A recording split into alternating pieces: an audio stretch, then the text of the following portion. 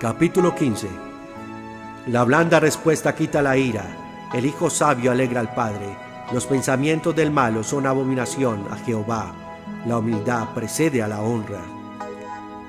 La blanda respuesta quita la ira, mas la palabra áspera hace subir el furor. La lengua del sabio emplea bien el conocimiento, mas la boca de los necios profiere sandeces.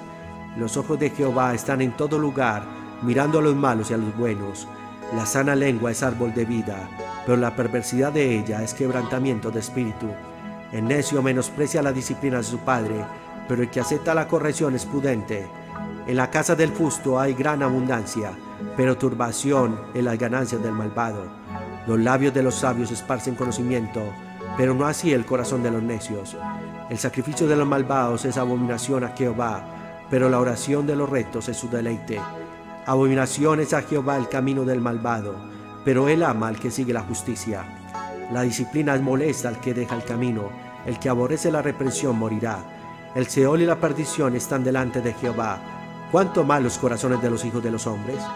El escarnecedor no ama al que le reprende, ni acude a los sabios. El corazón alegre hermosea el rostro, pero el dolor del corazón abate el espíritu. El corazón entendido busca el conocimiento, pero la boca de los necios se alimenta de necedades. Todos los días del afligido son malos, pero el de corazón contento tiene un festín continuo. Mejor es lo poco con el temor de Jehová que un gran tesoro donde hay turbación. Mejor es comida de verdura donde hay amor que de buey engordado donde hay oído. El hombre iracundo promueve contiendas, pero el que tarda en airarse apacigua la rencilla. El camino del perezoso es como seto de espinos, pero la vereda de los rectos como una calzada. El hijo sabio alegra al padre, pero el hombre necio menosprecia a su madre. La necedad es alegría al falto de entendimiento, pero el hombre entendido endereza sus pasos. Los pensamientos se frustran donde no hay consejo, pero en la multitud de consejeros se afirman.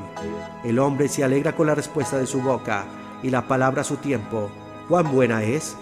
El camino de la vida es hacia arriba para el prudente para apartarse del Seol abajo. Jehová arrebatará la casa de los soberbios, pero él afirmará la heredad de la viuda. Abominación son a Jehová los pensamientos del malo, pero las expresiones de los puros son palabras agradables. Alborota su casa el codicioso, pero el que aborrece los regalos vivirá. El corazón del justo piensa antes de responder, pero la boca de los malvados derrama malas cosas. Lejos está Jehová de los malvados, pero él oye la oración de los justos.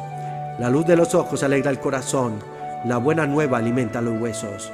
El odio que escucha la reprensión de la vida morará entre los sabios. El que tiene en poco la disciplina menosprecia su alma, pero el que escucha la represión adquiere entendimiento. El temor de Jehová es enseñanza de sabiduría y a la honra precede la humildad.